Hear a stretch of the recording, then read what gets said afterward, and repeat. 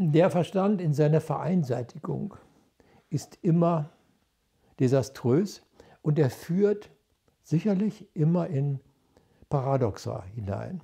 Man kommt immer in irgendwelche Grenzregionen. Das kann man ganz schnell, ganz schnell abhandeln. Beispiel Unendlichkeit in Raum und Zeit. Man kann sagen, gut, äh, alle Argumente, die man in der einen oder anderen Richtung bringen kann, führen in, in, eine, in eine Unsagbarkeit. Denn das lässt sich nicht denken.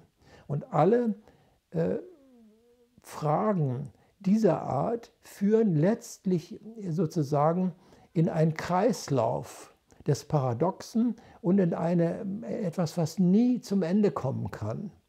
Das hat ja schon Kant in der Kritik der reinen Vernunft gezeigt, äh, mit Recht auch, dass man das in beide Richtungen denken kann. Also das Endliche und das Unendliche. Und äh, das kann man so nicht sozusagen äh, rational ausdifferenzieren. Und es geht mit allen Dingen so. Ich meine, ich sage immer auch gerne als auch weiteres Beispiel, das Ich. Das Ich, kann man jetzt viel darüber reden, was das Ich eigentlich ist und Ego und so weiter. Aber das Ich ist der Ruhe, ist erstmal das Einzelne, was das der Einzelne in der Tiefe darstellt. Äh, ob das Ich nun äh, ontologisch in der Tiefe existiert oder nicht, ist das gar nicht die Frage, sondern da kommt man nie dahinter. Weil wenn, wenn, was immer man über das Ich sagt, das ist ja doch von ich-bewussten Wesen ausgesprochen. Und auch alle Erfahrungen der Nicht-Dualität sind ja von bestimmten ichhaften Wesen erst einmal gemacht worden. Das heißt also, man kommt aus bestimmten Zirkeln grundsätzlich nicht raus. Also die, ähm, dann muss man das überschreiten.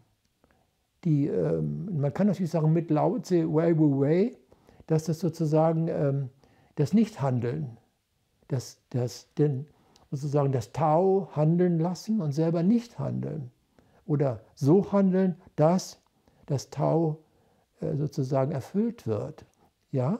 Und, äh, aber der Abendländer ist ja auch Aktionist. Der ist nicht nur Aktionär, das ist er auch, aber er ist auch Aktionist. Er muss immer was tun. Er ist absolut aktionistisch. Und das ist ja auch eine Katastrophe. Ist ja auch nicht normal. Dieses Aktionistische. Er muss immer im Außen, das Aktionistische ist ja außen. Immer außen, außen, außen.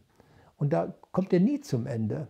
Und da kann er auch in der, können die Intellektuellen sozusagen Handstand machen oder Klimmzüge, auch wie immer, sie werden bestimmte grundlegende Seinsfragen niemals intellektuell klären können oder zum Abschluss bringen können. Das ist unmöglich.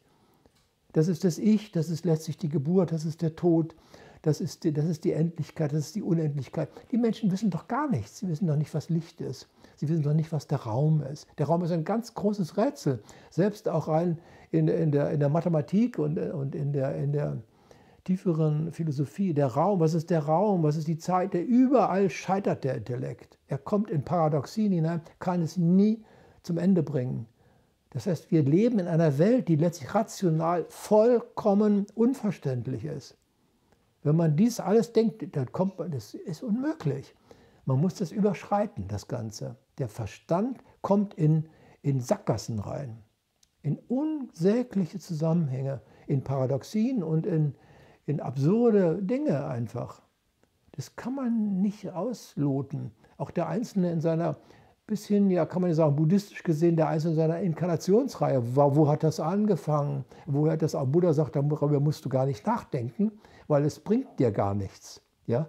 Aber wo hat das angefangen? All diese Fragen, wie das und so weiter und so weiter, münden in, in, in, in, Antworten, die nicht wirklich tragfähig sind. Aber es sei denn, man, man hat eine andere Ebene. Wenn man eine wirklich geistig-kosmische Ebene hat, dann, äh, dann zeigt sich das alles in einem anderen Licht. Das ist wie ein großes Kaleidoskop, was plötzlich schlagartig Dinge in einem ganz anderen Licht zeigt.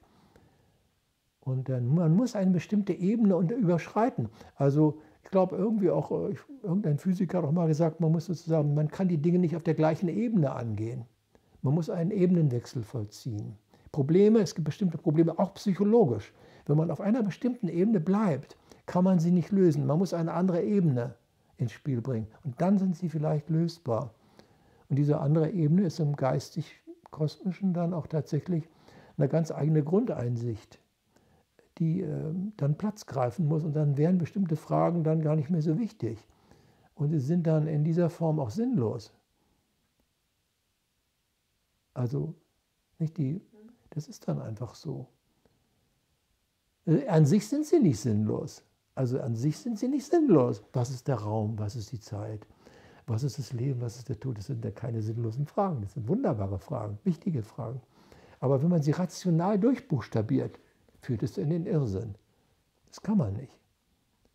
Da kommt man nie zum Ende. Da kann man immer wieder neu, äh, sophistisch ausdifferenzieren, aber man hat nichts gewonnen dadurch.